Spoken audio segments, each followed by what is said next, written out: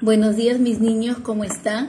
Les cuento que hoy vamos a trabajar una actividad muy bonita en matemáticas, pero antes vamos a rezar.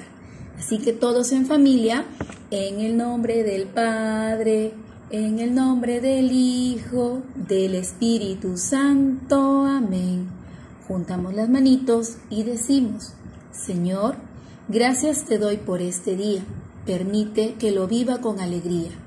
Gracias por cuidar de mi familia. Gracias Madre María porque siempre estás conmigo. Amén. En el nombre del Padre, en el nombre del Hijo, del Espíritu Santo. Amén. Muy bien, ahora vamos a empezar con la actividad de matemáticas. Muy bien, miren, por acá tengo unos materiales que ustedes también los pueden conseguir en casita. Por acá tengo Miren, es una pelota.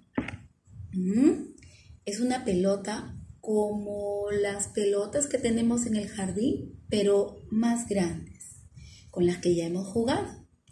Esta de acá, ¿qué cuerpo geométrico será? A ver, vamos a pensar. Mm, ya sé, es una esfera.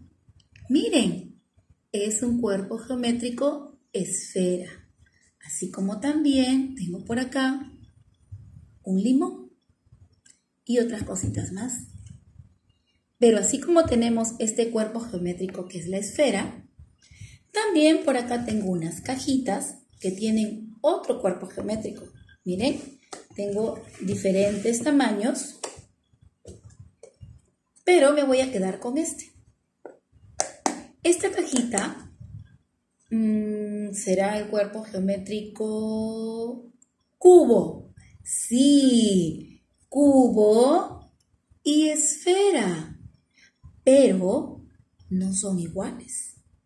El cubo tiene sus lados planos y unas puntas, unas esquinas. El, la esfera tiene su lado ovalado que nos permite que ruede. La esfera puede rodar. ¿El cubo podrá rodar? No, ¿verdad? Muy bien. Así como estos dos cuerpos geométricos, hoy vamos a aprender uno más. Muy bien, chicos. Y ahora vamos a aprender un nuevo cuerpo geométrico. ¿Listo? Vamos a ver cuál será ver. Mm, miren, acá tengo una lata de gaseosa. Pero esta lata de gaseosa, ¿qué cuerpo geométrico será?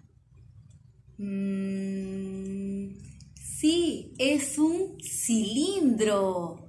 El cilindro tiene un lado ovalado que permite rodar y tiene dos lados planos, como esto que está en el archivo que deben descargar para que hagan su propio cilindro. ¿Listo? Pero ahora vamos a ver qué otras cosas tengo debajo de esta tela.